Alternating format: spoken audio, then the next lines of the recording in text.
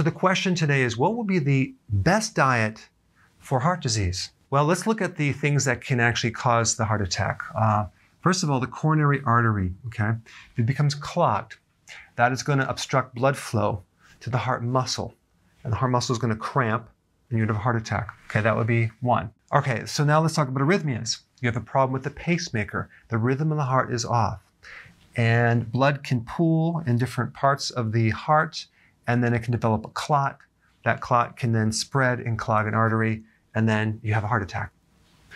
And then we have the heart muscle itself. Let's say you don't have a clogged artery, but the heart muscle itself just cramps to the point where it's like a muscle cramp, but in your heart, and you just basically die of a heart attack.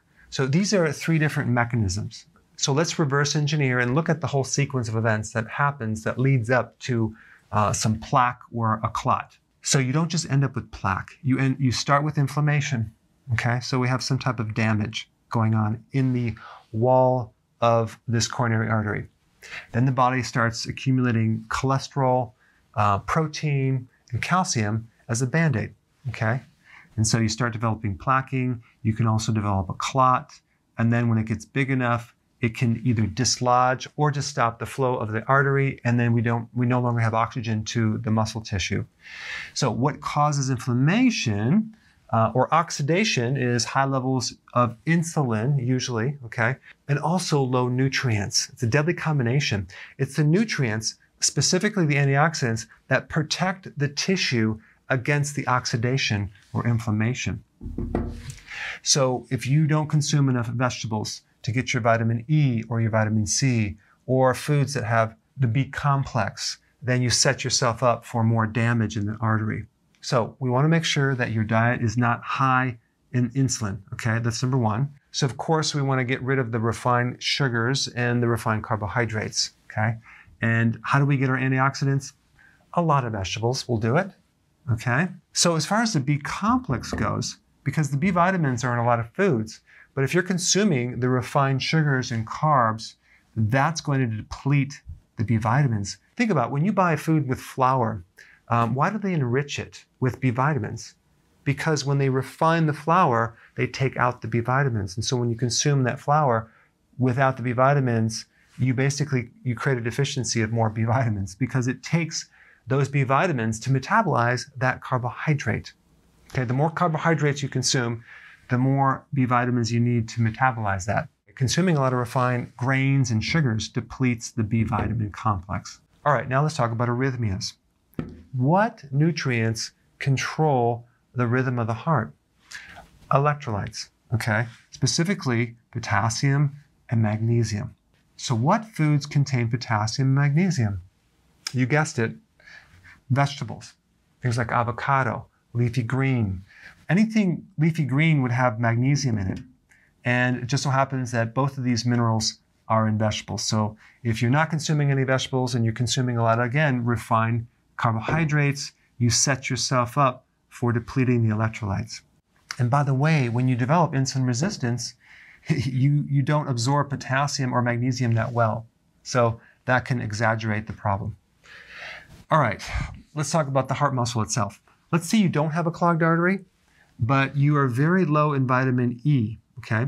Vitamin E has a very specific purpose of increasing oxygen in the heart muscle itself. But if you're low in vitamin E, the heart has to work harder and it will have a tendency to cramp up. And this could create angina and lead to a heart attack.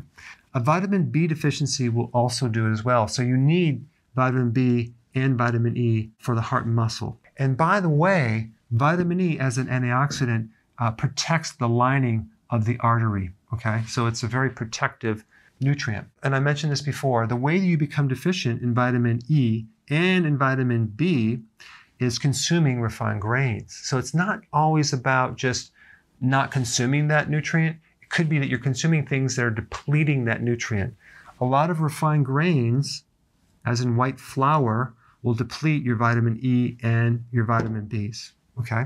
And of course, you probably see this all the time that you have to consume whole grains for a healthy heart.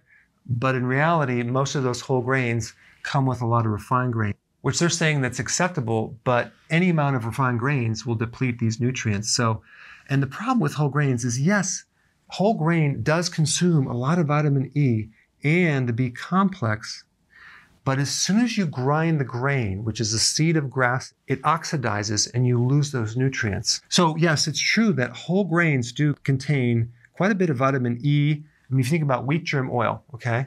Wheat germ oil, it's loaded with vitamin E and even the B complex. But when you grind the grain into flour, that's when you oxidize those nutrients. So, uh, when you buy this uh, whole grain bread, you're you're not realizing that they made that bread weeks before they, I don't know when they ground the flour. It probably wasn't fresh. So they grind the flour, it sits on the shelf, it oxidizes, and then they make the bread out of whole grain. Well, those vitamins are already destroyed.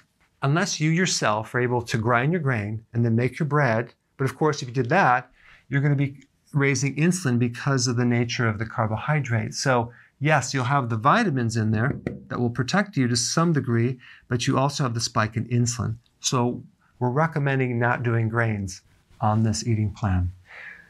You know, I just realized something. This really resembles the ketogenic plan, doesn't it? It does.